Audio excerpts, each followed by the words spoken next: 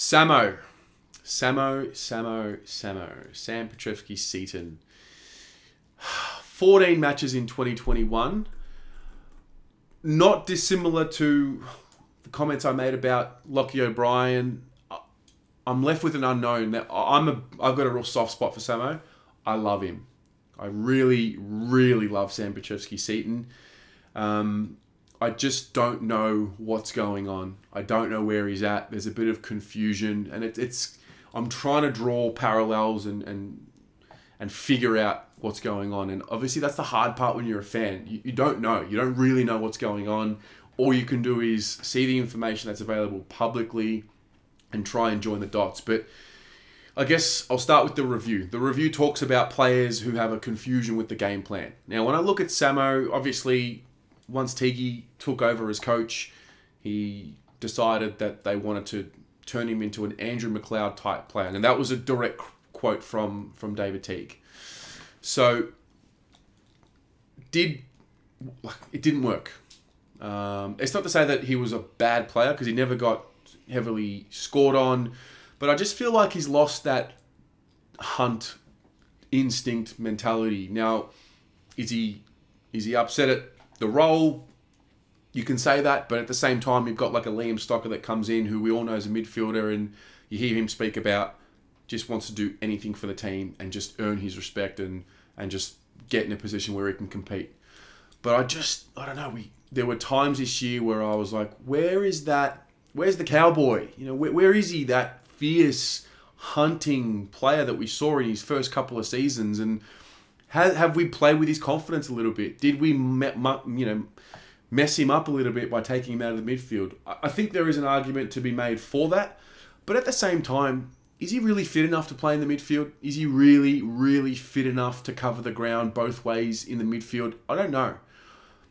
What I think when I watch him is, I think rather than putting him in the half back line, I think putting him in the half forward line was the move. But at the same time, you bring in you bring in Jack Martin, who really is that. He's the half forward guy that pinch hits in the midfield. And I just wonder what's the spot for Samo? Where, where is he going to make his name? And and that, and that's something that I don't profess to know. I'm, I'm I guess I'm just telling you. I, I don't know more than what I knew at the start of the year. I probably know less about where he's at now.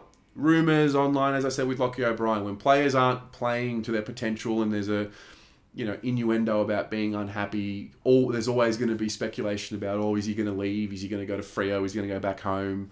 I hope not. I really hope not. This for me, like life's you have ups and downs. There are, there are players that didn't have good years this year.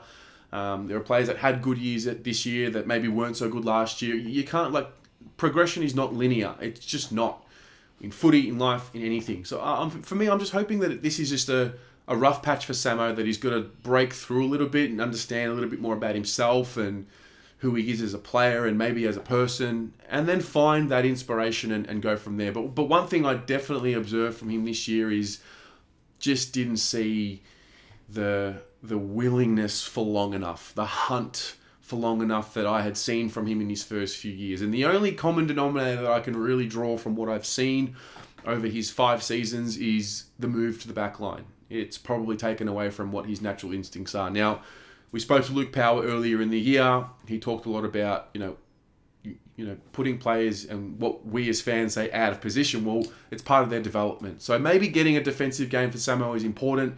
It'll hold him in good stead for the future. I hope so. Time will tell. But I just want to see the Sam Petrevski-Seton that we drafted because I'm just not seeing him at the moment. Um, I don't think at this stage, he works hard enough for long enough to be a full time midfielder. In an ideal world, he becomes a, a, great midfielder for us. But I just don't think, as I sit here right now, that he is ready to impact games for four quarters as a midfielder. And, and that's why I think there might be a role in the forward line.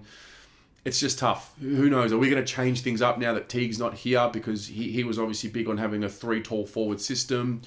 Do we take a tall forward out of there and maybe replace him with a Samo type? Who knows? I'm just thinking out loud right now. But yeah, let me know what you think about Samo and, and his year and, and where how you how you saw it play out and how how we get him back to playing his best footy. I think it's it's so interesting because like part of it is on Samo, part of it is on the coaching group to empower Samo and the environment around him to empower him and and get the best out of him and you know how do you strike the balance between that like I don't I just don't know I'm just someone watching from the outside observing on the inside. But you just I just don't see that same spark. I guess that's the message from from his year from me and, and how I saw it. But really keen to get your thoughts. Let me know in the comments below and we'll go from there